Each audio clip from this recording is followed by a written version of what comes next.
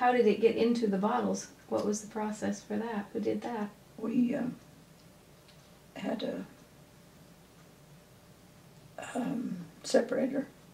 And at first, he would just pour it in the, pour the milk in that, and we would hold the bottle under it and fill the bottle and put the lid on it. Just by hand, Uh-huh. one at a time. Uh, well, that's the operation all the time. Huh. All the time they had the dairy. Would do that. And uh, immediately just started selling cream. And of course, jerseys have real nice, rich cream. He used to brag about how far the cream came down on the milk bottles, and it did. But now people want don't want it. cream; they want no cream. Yeah. Became conscious of things like that.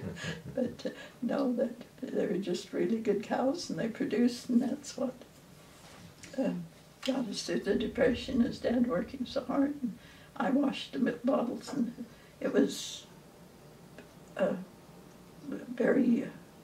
Um, to start with, it was we just have we're still there. I've got a couple of them out here, double tanks that you'd have the hot water and then you'd have the water you'd put in. You'd wash them and then put them sterilize. But in between you'd put them, stove similar to this. There'd be a boiler, you know what a boiler is on it, and boil the water and I'd wash the bottles and put them there. Dad cautioned me everyone had to be boiled at least three minutes. And just by hand we'd, that's what I did. and I didn't do much housework. I Oh, you didn't? well, I didn't have much time after bo- bottling milk because the dairy got bigger and bigger. Betty said once she had bottled them, how she'd washed bottles. And I said, Betty, you didn't wash a bottle until you were 16 years old and I got married.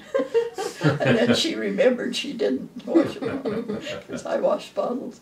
I remember coming home from dates and I was quite popular.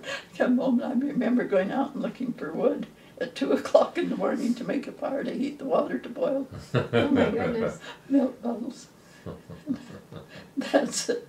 I never ever felt picked on about it or anything. It's what I did.